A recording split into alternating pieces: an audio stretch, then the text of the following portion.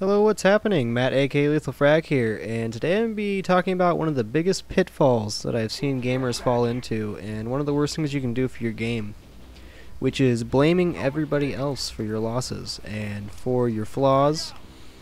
And I've noticed this pretty rampant in gamers, and I totally understand why. It's super frustrating when you're lagging or you're losing a game badly to really blame the other team, blame lag, you know, blame cheap tactics, blame people for camping.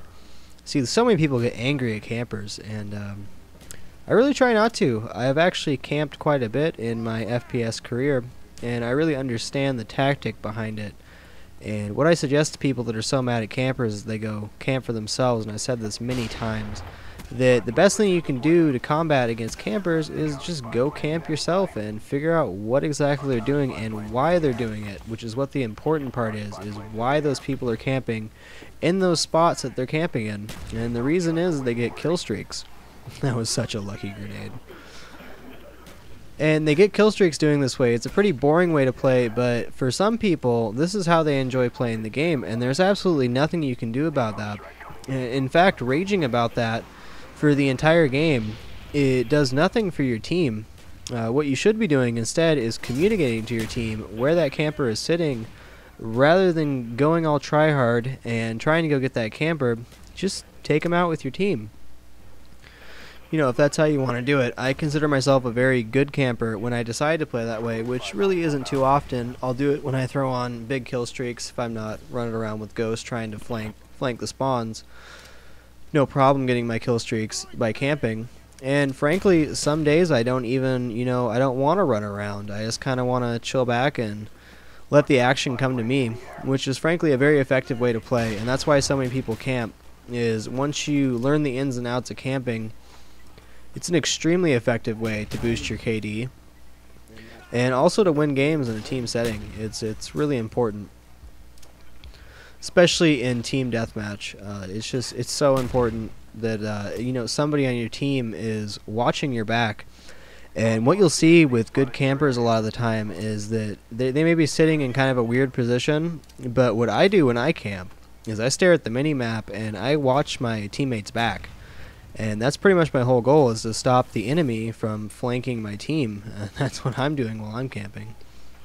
Anyways, back to the point. The worst thing that you can do for your play is start blaming, start blaming lag, start blaming campers, stop blaming the AK-74U, stop blaming other people for the fact that you're losing the games.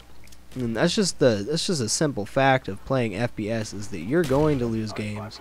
You're going to get put into frustrating situations. And rather than complaining about it and whining, you might as well just fix the problem or just take your loss like a man. You know, just just man up. Just take the loss, say good game, move on to the next one.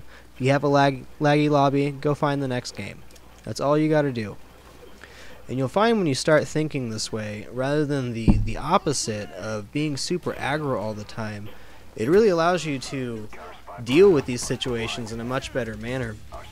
And uh, like I said, I've camped a lot, but uh, I, it's really not my preferred style of play. It's more of just a relaxing thing for me. You know, if I just want to hang out and play some games, I don't want to.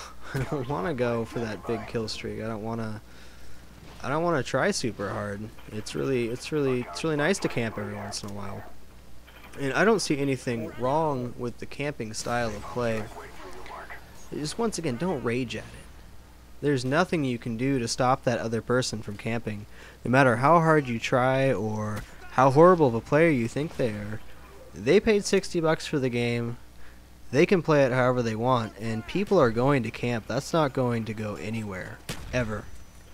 There's not going to be a single FPS game made where people do not camp. And with a little bit of work, and with what I mean by a little bit of work is I mean camping yourself, campers become so easy to kill.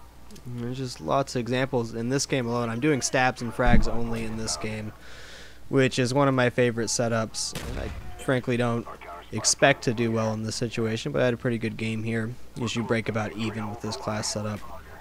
You'll see you just keep running up behind campers. It's really not It's really not that bad. Once you once you camp for yourself on different maps, you kind of figure out where the best camping spots are, and then you're expecting somebody to be camping there.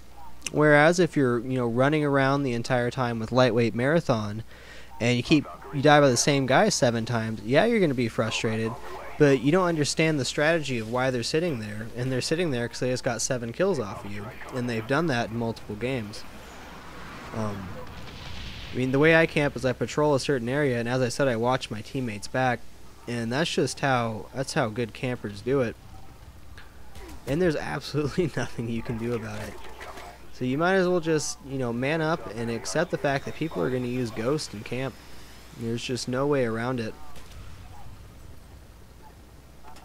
I don't know what's going to be like in Modern Warfare 3, what uh, the perk slots are going to be at. But, you know what? Just don't let it get to you, man. Just play your game, Man up, take your loss, and move on to the next one. Frag out.